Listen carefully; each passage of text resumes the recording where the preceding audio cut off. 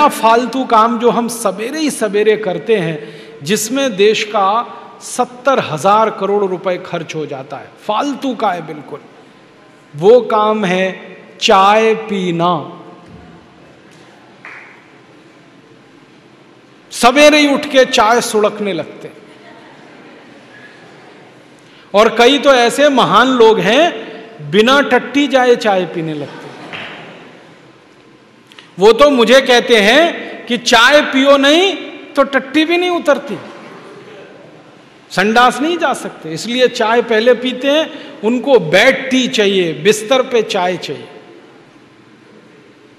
और इसमें खर्चा कितना होता है? एक किलो चाय डेढ़ सौ रुपए की है। हर साल भारत के लोग सत्तर करोड़ किलोग्राम चाय पी जाते सोचो कितना पैसा खर्च करते फालतू में। और ये फालतू इसलिए भी है कि चाय पी पी के अपना शरीर खराब होता है। ज़्यादा चाय पियोगे, नशा हो जाएगा। नशा पता है किस बात का? रोज चाय पीनी पड़ेगी। एक दिन ना पिए तो सिर में दर्द हो जाएगा। बहुत लोग मुझे कहते हैं, एक दिन भी चाय ना मिले तो सिर घूमने लगता है। तो ऐसा नशा किस काम का? और दूसरी समस्या, चाय पियो तो पेट खराब। चाय से पेट खराब पता है कैसे होता है? चाय में कुछ केमिकल हैं। एक केमिकल है, उसका नाम है कैफीन। दूसरा है निकोटिन। तीसरा है टेनिन। ऐसे 18-20 केमिकल हैं चाय में। ये सब पेट में जाके अम्लता बढ़ाते हैं। अम्लता समझते हैं? एसिडिटी। पेट में वैसे ही गैस एसिड बनता है, अम्ल बनता है। चाय पियो तो और ज़्यादा बनता है। और पेट में जब अम्ल ज़्यादा बनने लगता है तो वो खून में चला जाता है। खून की अम्लता जब बढ़ती है तो 80 रोग आते हैं शरीर में। घुटने दुखना, कमर दुखना, कंधा दुखना, जोड़ों में दर्द होना, हृदय घात होना हार्ट अटैक होना, फिर कई बार ब्रेन हेमरेज होना, खराब से खराब रोग शरीर के खून की अम्लता बढ़ने के बाद ही आते हैं। और ये अम्लता सबसे ज़्यादा चाय से बढ़ती है। तो क्यों फालतू में पीना? मत पियो। आदमी को छोड़कर कोई चाय नहीं पीता। मैंने बहुत बार कुत्ते को पिला के देखा, नहीं पीता। गाय को पिलाया, नहीं पीती। भैंस को पिलाया, वो भी नहीं पीती। कोई जानवर चाय नहीं पीता। पक्षी भी नहीं पीते। दूध पीते हैं, दही खा लेंगे, पानी पी लेंगे, चाय नहीं पीता कोई। ये मनुष्य मूर्ख है जो पीता रहता है। अकेला नहीं पीता, हर घर में आने वाले को पिलाता तू भी पी।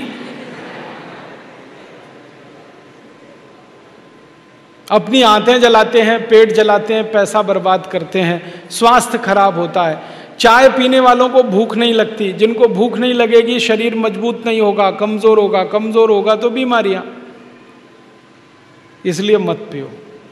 आप चाय छोड़ दो, सारा देश चाय छोड़ दे, सत्तर हज़ार करोड़ रुपए देश के बचते हैं। तो आप छोड़ दो। कोई भी भारत के महापुरुष ने चाय नहीं पी कभी भी।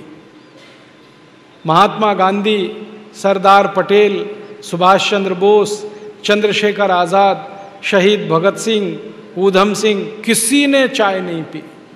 आप क्यों पी रहे हो? बंद करो। तो आप बोलोगे, फिर क्या पिए चाय की जगह? मैं आपको बताता हूँ, दूध पियो। आप बोलेंगे, जी, दूध पीने से क्या लाभ है? दो लाभ हैं। चाय बिकना अगर कम हो जाए, दूध बिकना बढ़ जाए तो दूध बिकेगा तो जानवर ज़्यादा पालने पड़ेंगे तो मुनाफा सब किसानों को मिलने लगेगा। और चाय का मुनाफा मिलता है ज़्यादा से ज़्यादा विदेशी कंपनियों को।